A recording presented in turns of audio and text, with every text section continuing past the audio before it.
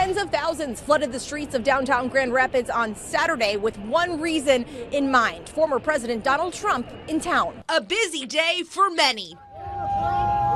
Downtown Grand Rapids full. For more than a mile, thousands waited for Republican nominee and former President Donald Trump to speak.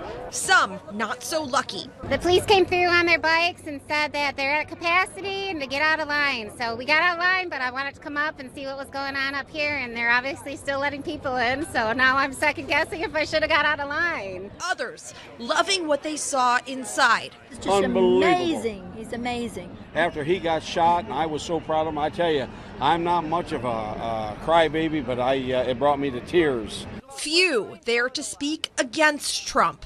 Bad situations we're, we're going to find ourselves in if this guy's reelected, meaning Trump.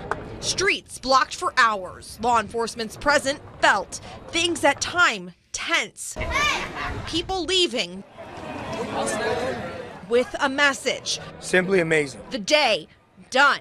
Everything that he said was dead on. The election far from over. It's amazing. It just shows how much people really do love Trump. He's our man. So again, 12,000 seats available in Van Andel Arena, more than 30,000 people registering for today's event. That leaves 20,000 or so out here on the streets not able to get into the event. People who I spoke to say that in their opinion, that means it's a good sign of showing of support for the former president. Reporting in Grand Rapids, Julie Dunmeyer, Fox 17 News.